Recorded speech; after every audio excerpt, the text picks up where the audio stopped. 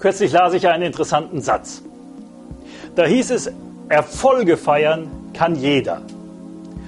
Feier doch mal deinen Misserfolg. Feier doch mal deinen Misserfolg. Interessant, nicht wahr?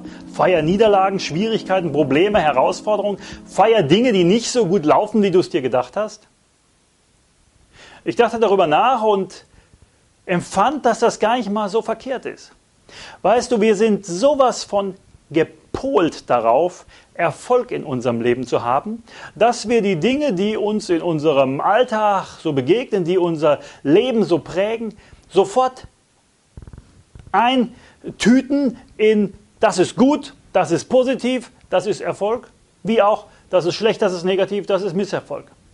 Wir sagen sofort, das ist etwas, was wir als gut empfinden und das ist etwas, was wir als schlecht empfinden. Aber weißt du, was das Geheimnis ist? Eigentlich sind die Dinge erstmal wertneutral.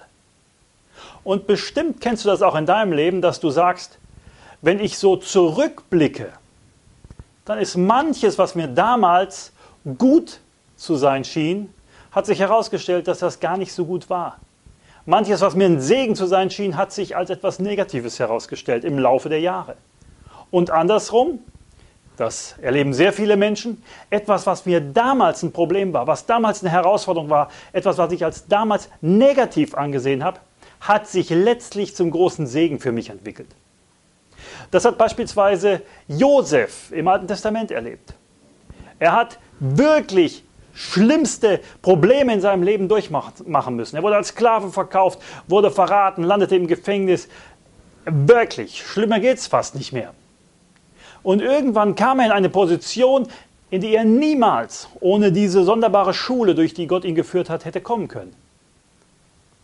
Und Jahre später sagt er, eigentlich ist das, was geschehen ist, etwas sehr, sehr Gutes gewesen.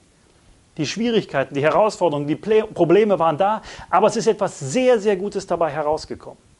Und ich lade dich ein, dass du einfach deinen Blick etwas erhebst und die Dinge, die dir widerfahren,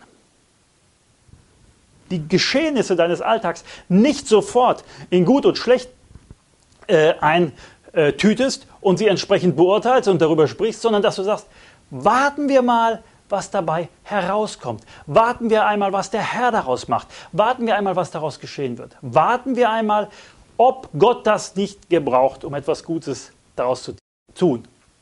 Gott sagt, denen, die Gott lieben, dienen alle Dinge zum Besten. Das wünsche ich dir. Ich wünsche dir, dass die Schwierigkeiten, durch die du jetzt vielleicht gehst, zum großen Segen in deinem Leben werden und dass du rückblickend sagen kannst, da waren Schwierigkeiten, aber der Herr hat etwas Gutes daraus gemacht. Ich glaube, Gott hat viel mehr für dich.